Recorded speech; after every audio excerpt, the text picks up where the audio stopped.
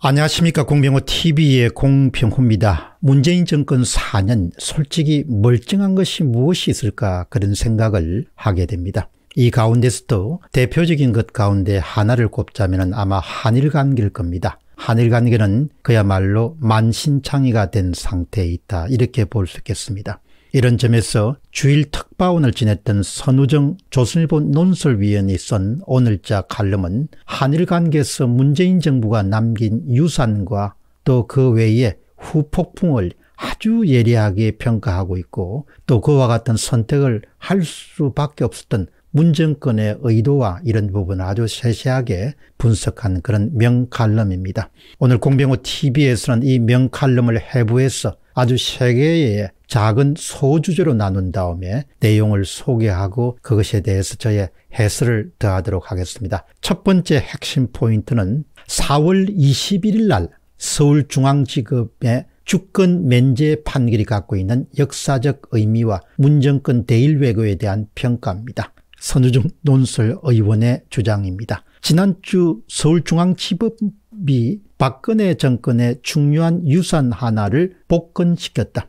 2015년 한일 위안부 합의다. 문재인 대통령은 합의 2주년을 맞은 2017년 12월 28일 피해자 지원 사업을 무산시킨 방식으로 합의를 사실상 파기하고 말았다. 그런데 4월 21일 날 서울중앙지법은 피해자의 소송을 기각하면서 박근혜 정부의 한일 위안부 합의가 피해자 권리를 구제하는 정부의 유일한 외교적 보호권 행사라고 판결했다. 국제사회 보편 원칙에도 맞고 합의 과정에서 피해자가 배제되지도 않았고 피해자 상당수가 합의에 따른 구제사업에 응했다. 문 대통령의 고의적 왜곡을 대한민국의 사법부가 온전히 바로잡았다. 문 정권 4년 외교를 결산하는 상징적 반전이었다. 여기까지가 선우정 논술위원회 주장입니다. 저의 해설은 이렇습니다. 국가 간 약조가 한일 위안부 합의였습니다. 이것을 납득할 수 없는 이유로 깨버리고 한일 관계를 배랑 끝으로 밀어붙이고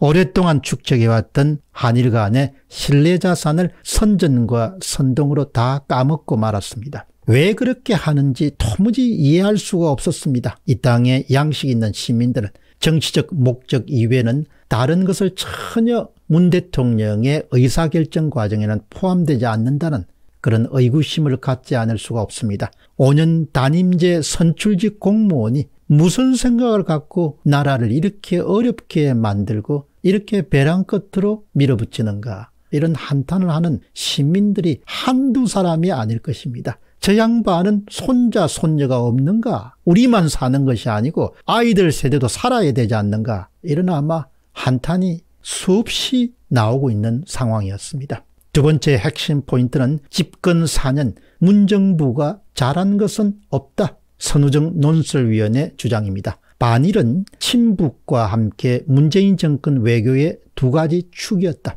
친북 노선은 작년 북한의 남북 연락사무소 폭파와 삶은 소대가리 발언으로 사실상 물을 건너가고 말았다. 친북을 살려보겠다고 반일을 친일로 돌렸다.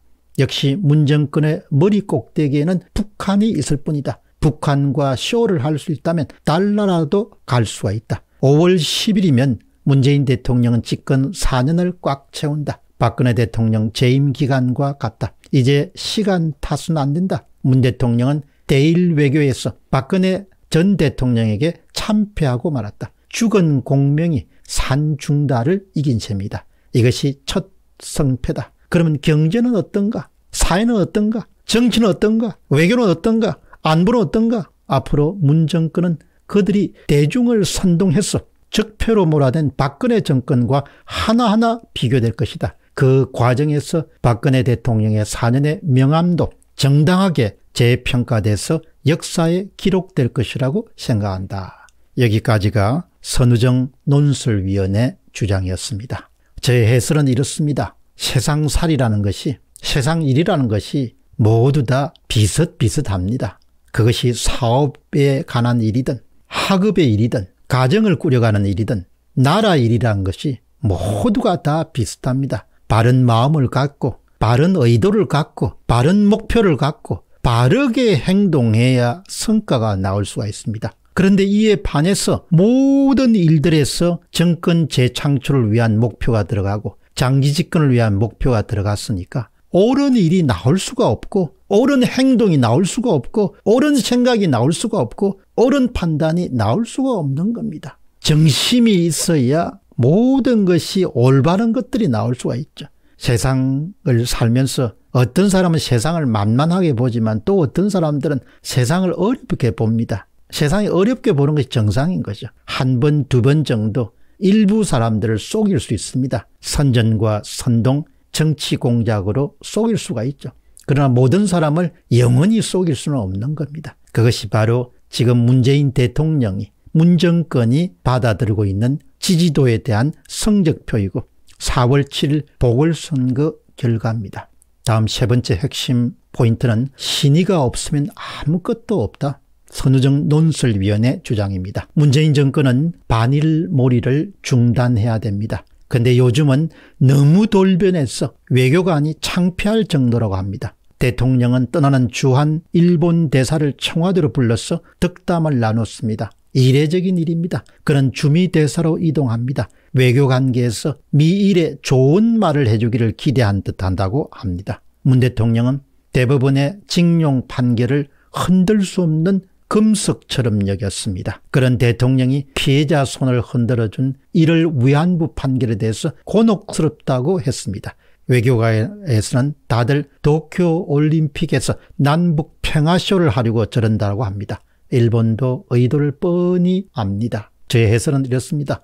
모든 것은 이렇게 정도를 벗어나서 이용해 먹으려 한다. 상대방을 이용하려고 한다. 이런 식으로 대하니까 이웃나라 사람들이 그 저희를 알고 어떻게 생각하겠습니까? 반일과 반미도 모두 다 국내 정치용 소재다 이렇게 생각하는 사람들이 수없이 많습니다. 올바름이 없으면 신의도 없습니다. 정의가 없으면 신의도 없습니다. 선이 없으면 신의가 있을 수가 없는 것이죠. 아무튼 정권 창출에 성공해서 편안한 노후를 보낼 수 있기를 바랍니다. 정권 창출이 불가피 불가능하게 되면 편안한 노후조차도 물 건너가게 될 것으로 보입니다. 그래서 지금 세상 사람들은 앞으로 얼마나 더 강한 무리수가 동원될 수 있을지를 예의주시하고 있습니다. 공병호 TV의 공병호였습니다. 감사합니다.